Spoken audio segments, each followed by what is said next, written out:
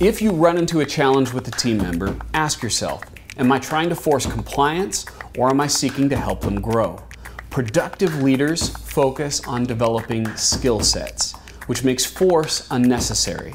By coaching and training others, you can help them improve performance.